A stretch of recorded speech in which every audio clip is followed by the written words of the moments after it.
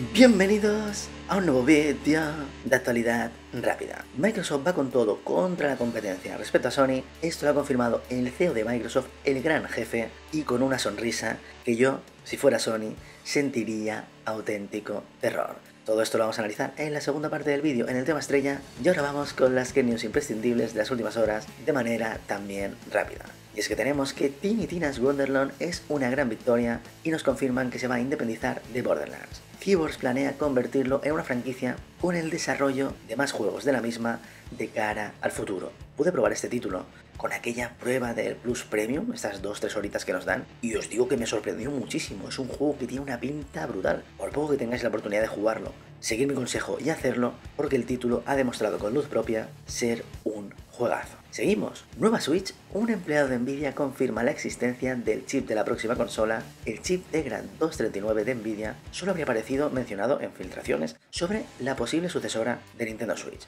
Ahora un empleado de la compañía lo ha confirmado, despertando nuevos rumores. Pues bien, como bien sabéis, Nintendo Switch salió en 2017. Vamos camino de 2023, es decir, vamos camino del sexto año de Nintendo Switch. Desde el día 1 se llega hablando de rumores de una Pro, ahora son rumores de una, de una sucesora. Al final llegará porque más o menos el tiempo natural de una generación son 7 y nos acercamos al año 6, con lo cual sí, tiene pinta de que más pronto que tarde será real, pero me sorprende que durante tanto tiempo haya estado planeando la sombra de una nueva consola respecto a Nintendo Switch. Vamos ahora con el tema estrella. Satya Nadella, CEO de Microsoft, asegura que la adquisición de Activision Blizzard se va a realizar según los plazos previstos. Él está convencidísimo que así será. Recordar que dichos plazos nos llevaban a junio de 2023 y el propio Nadella, insisto, da una confianza feroz. Y cuando este señor, que es el CEO de Microsoft, es decir, es el gran jefe, el jefe de Phil Spencer entre otros, habla con tanta confianza, pues realmente creo hay motivos para el optimismo. También responde a Sony, el cual le dice, si quieren competencia, tendrán competencia, haciendo referencia a estos últimos movimientos donde Sony ha intentado estar salpicando un poco la mierda con estos, vamos a decir, estamentos antimonopolio, los cuales han estado vendiendo un poco la moto para que dicha compra no se haga, con lo cual están enfadando al gran jefe,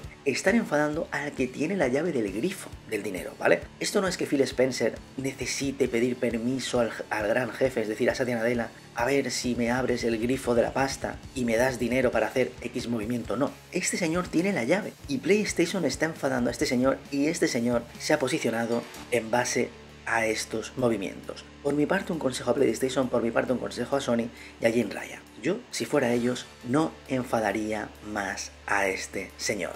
Muchísimas gracias por pasaros, me encantaría seguir debatiendo aquí abajo en los comentarios y nos vemos en el siguiente vídeo.